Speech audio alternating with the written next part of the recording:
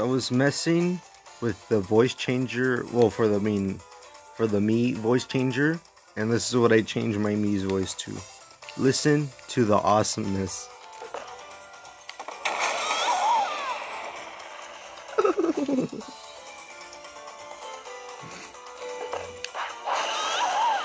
Why is this allowed? Come on, Steve. We got this.